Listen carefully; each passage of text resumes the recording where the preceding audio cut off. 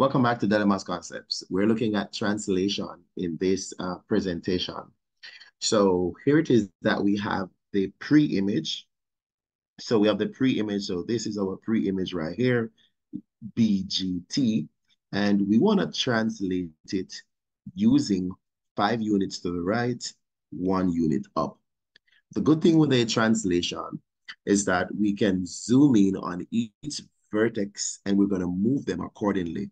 For example, we're going to move vertex B here, and we're going to move it five units to the right. Let's count. One, two, three, four, five to the right, then one up, one.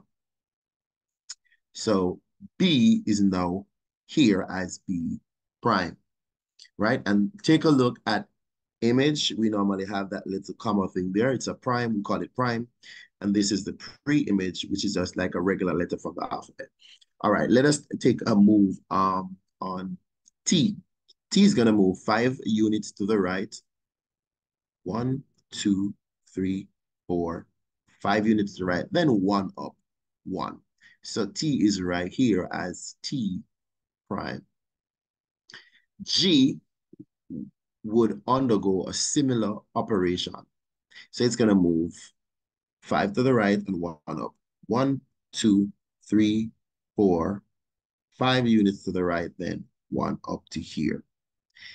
So basically, all we have to do now is to reconnect this shape. So this is G prime, and we're going to recreate the shape.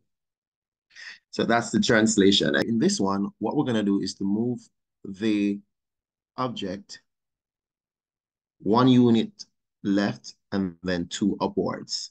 We're going to move the three vertices. So we're going to start with Y. One to the left, two up.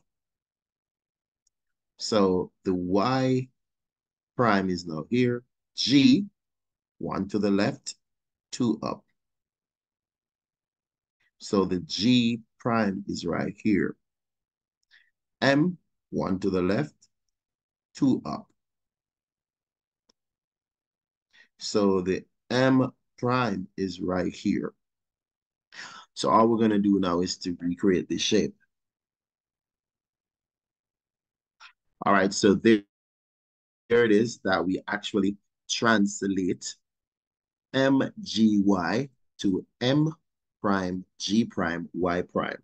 All right, let's do the third example. So in this example, we're going to move um, this object three units down. So let us focus on the vertices. So Q will move one, two, three down to here, and this is now Q prime. L will move one, two, three down to here, and this becomes L prime. U will move one, two, three down, and this becomes U prime. So all we're going to do now is to reconnect what we have.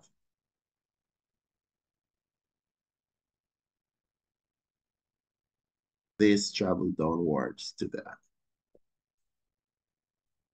Five units right, two units up. So let us say we start with X. One, two, three, four, five, and two up. One, two, right here. So this is now my x prime. E, one, two, three, four, five, one, two up it's right here. This is my E prime. I, one, two, three, four, five, and one, two up right here. And that's my I prime. So if we should just connect this,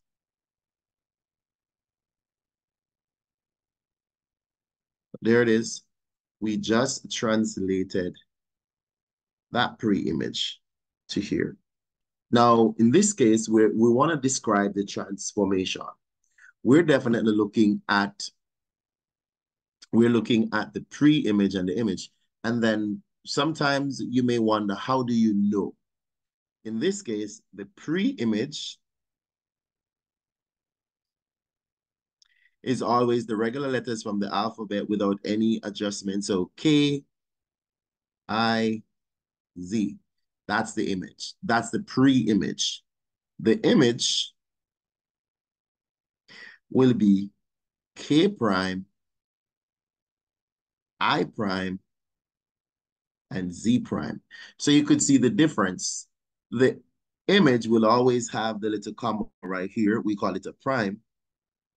So one just need to identify the image from the pre-image and we're good. So in this case, you can see that the blue one I'm looking at is my image. The movements of the translation right now, we're moving from pre-image to the image. So this is the original thing that we got. That's the original figure that we got. So the question is, there are three options here. One, we could look at K to K prime or I to I prime, or we could look at Z to Z prime. These are corresponding points from the pre-image to the image. So we're gonna take a look at K, we're gonna look at this one, from K to K prime. Right, so we're gonna look at from K to K prime. So let's take a look. From K to K prime, we're gonna, we're right here, right here. So we wanna think in terms of the motion of a translation, we wanna move left or right first. So we're gonna move horizontally first before we move up or down. So we're gonna move from K. If we go to the left, we're not gonna line up with K. So definitely we have to go to the right first. So one, two to the right, and then one down. So basically, we move two units right, then one unit down, and we arrived. So that's the translation. So let us try Z to see if it works with Z. We're going to move two to the right, one, two to the right, then one down. Then this worked. Let's see if it works for I. One, two units to the right, one down. So it works. So that is the translation. Two units right, one down. Let's take a look at question eight. All right, so in this one that we have, the main thing is that we want to make sure that we can identify the object differently from the, or the pre-image from the image. We're looking at V T I J. This is my pre-image. My image is V prime, T prime, I prime, and J prime. The image comes with the prime on it. So we're moving from pre-image to image.